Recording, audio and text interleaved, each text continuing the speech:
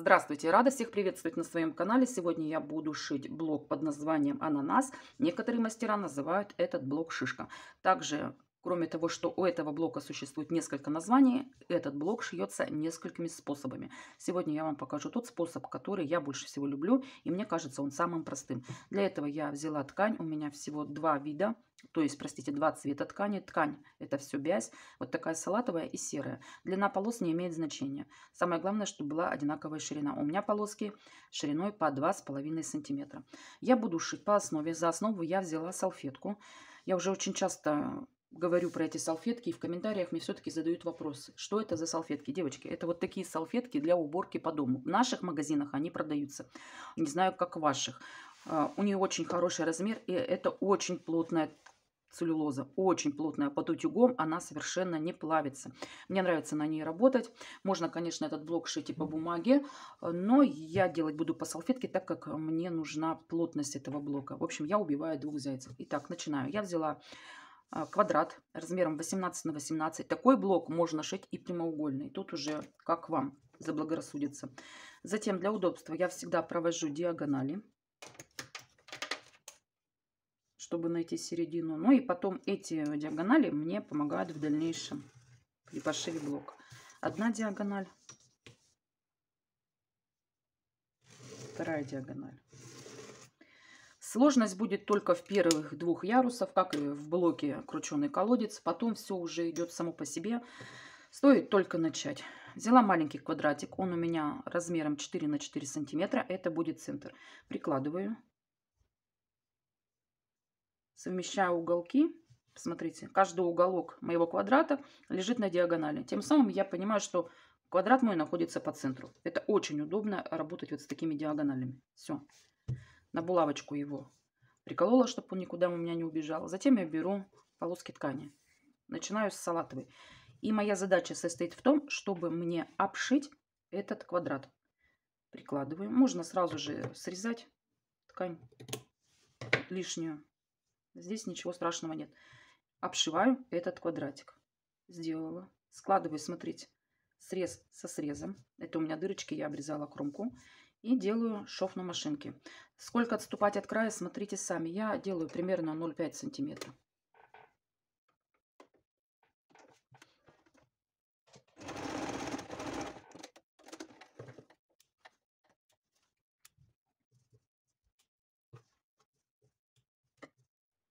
Отгибаю.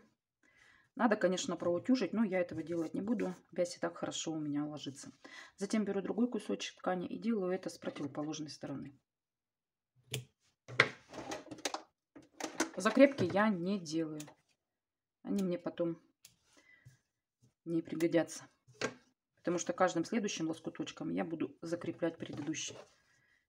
Две полосы я пришила, теперь осталось пришить еще две полосы с этой стороны и с этой стороны. Я отрезала небольшой кусочек полосы. Мне нужно только перекрыть серую ткань и немножко сделать внахлёст на ткань салатового цвета. Не как в блоке колодец, когда мы полностью перекрывали. Нет, здесь я перекрываю только серый цвет и немножко захожу на салатовый. Это я вам говорю для того, чтобы ориентироваться сразу по размеру полос ну, чтобы не вырезать лишнюю ткань и не тратить ее. Хотя остатки нам тоже всегда пригодятся на пиццу.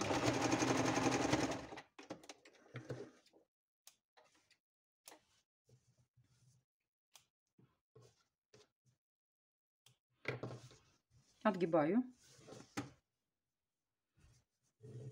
Видите, у меня самое главное, вот здесь уголки захвачены. То, что здесь у меня идет нехватка ткани, так и нужно. Переворачиваю и делаю то же самое. Прикладываю, смотрю только для того, чтобы перекрыть. И сразу отрезаю тот размер, который мне нужен. Ну, это чтобы не таскать свою ленту на машинку. Можно не обрезать, можно обрезать сразу под машинкой. Ну вот, я делаю так.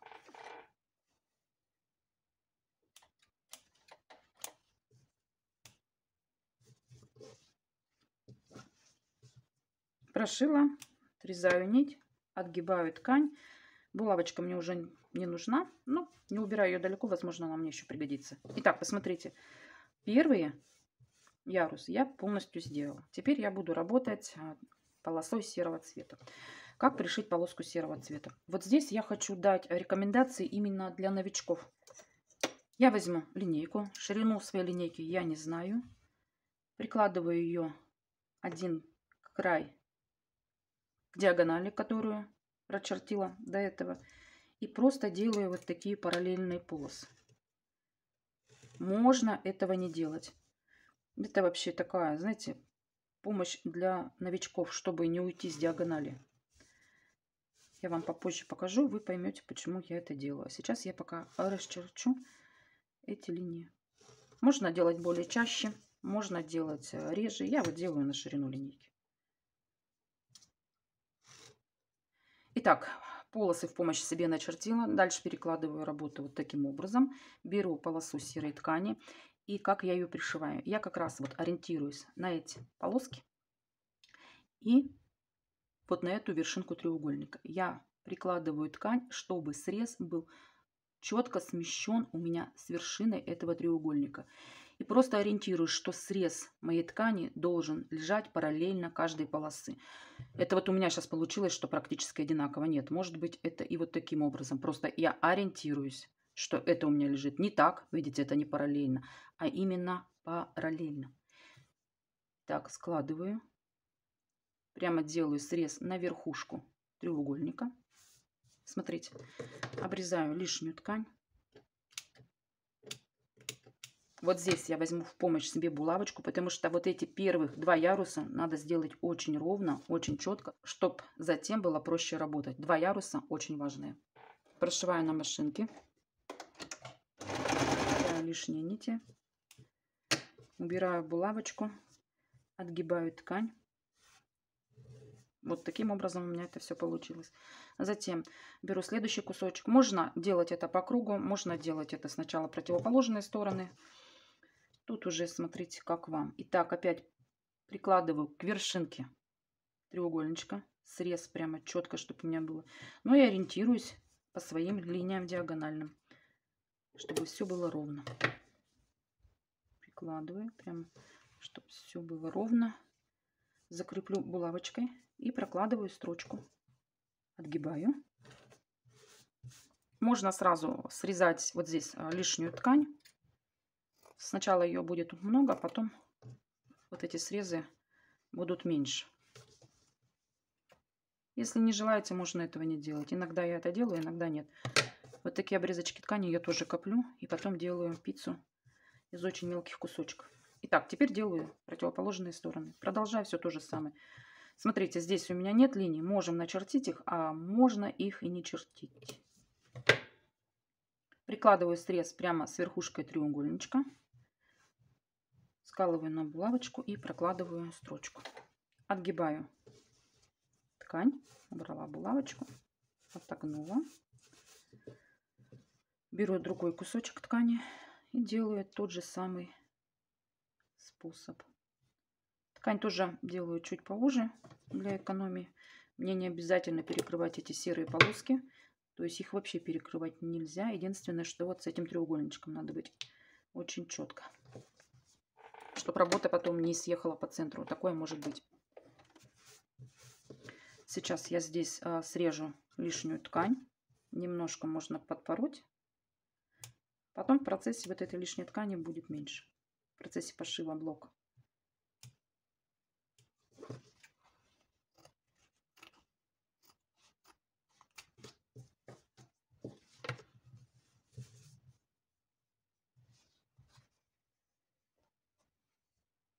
Так как я не делаю закрепочки, у меня здесь распускается все просто. Можно вот так вот потянуть, и шов расходится. Поэтому лучше, конечно, делать без закрепочек.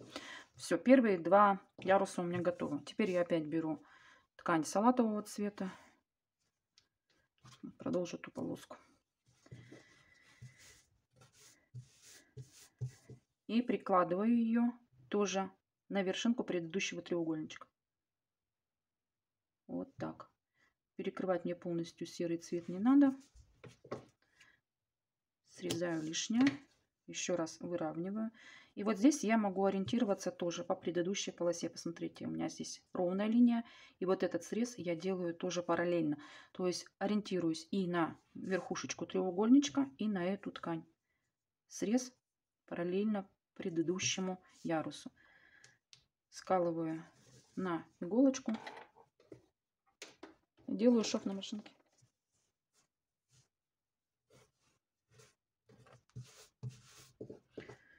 И дальше я, наверное, просто пойду шить этот блок. А вы будете, если вам интересно смотреть, озвучивать я ничего не буду. Потому что, мне кажется, уже все понятно и доступно.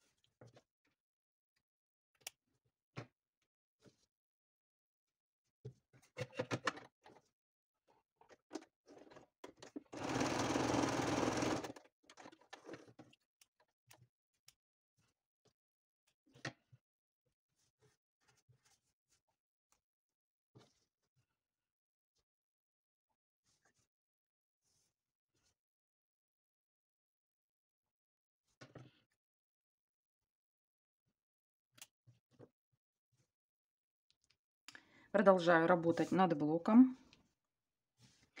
Мне надо сшить э, таких 4 блока. Так.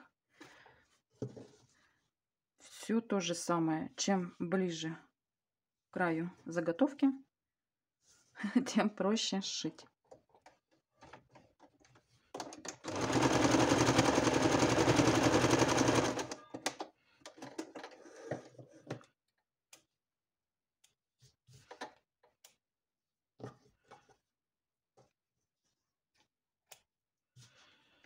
Обрезаю лишние нити, обрезаю лишнюю ткань. Я уже работаю длинными полосками. На иголочку уже не прикрепляю. Здесь у меня еще. Складываю уже, смотрите, срез ткани со срезом предыдущей полосы. Я уже не ориентируюсь по верхушкам треугольничков, которые были в первых двух ярусах. Нет, теперь уже можно ориентироваться по срезу, потому что блок у нас расширяется, соответственно, эти треугольнички, но это не треугольнички, это трапеция, она тоже расширяется, и уже верхушек может не получаться. Но, по крайней мере, у меня не получается. Поэтому я сейчас ориентируюсь только по срезу, складываю срез со срезом, смотрите.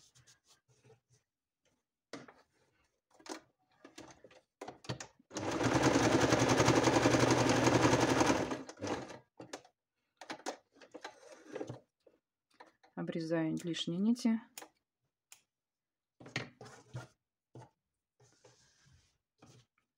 Обрезаю лишнюю ткань, отворачиваю.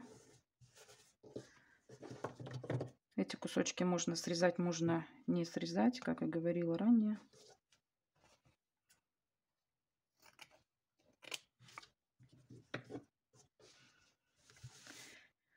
Так, беру еще одну полоску ткани. И теперь складываю уже срез со срезом.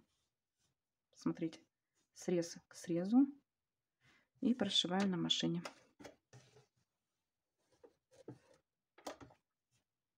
Обрезаю лишнюю нить.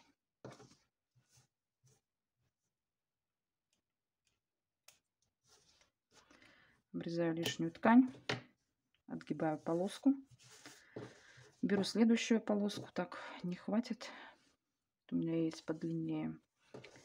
Соединяю уже срез со срезом. Сразу же отрежу лишнее. Полоса очень длинная. Еще раз соединяю срез со срезом и прокладываю строчку на машинке. Работу над блоком я полностью закончила. Вот так он у меня выглядит. А, выравнивать его не стала, так как это у меня не просто блок, это у меня будет изделие, состоящее из таких блоков. Я их уже начала шить. Единственное, что первые блоки я выравнивала. Зря, конечно, я это сделала. Надо будет а, выравнивать только тогда, когда а, соединяешь уже все блоки. Но ничего страшного. Мне еще надо несколько таких блоков, и выравнивать я их буду потом. Я надеюсь, вам было понятно, как шить такой блок. Еще раз повторяюсь, сначала мы ориентируемся по вершинкам треугольничков, потом, чем работа ближе идет к краю, а, тем эти треугольнички становятся вершинки шире, и практически они потом исчезают, и мы ориентируемся уже по полосе ткани. Почему я и говорила, что сложно шьется а, с первые ярусы внутренние, потом шьется намного легче, и ориентироваться становится проще. В общем, вот такой простой, я хочу сказать, но достаточно симпатичный получился блог. Ну а на этом я с вами попрощаюсь. Если вам понравилось мое видео, ставьте лайк. Если не понравилось, ставьте дизлайк. Подпишитесь на мой канал, чтобы увидеть, что я буду делать дальше. Обязательно еще вам покажу другие способы пошива этого блока. Но этот способ мне нравится больше всех. Пока-пока. До встречи на моем канале.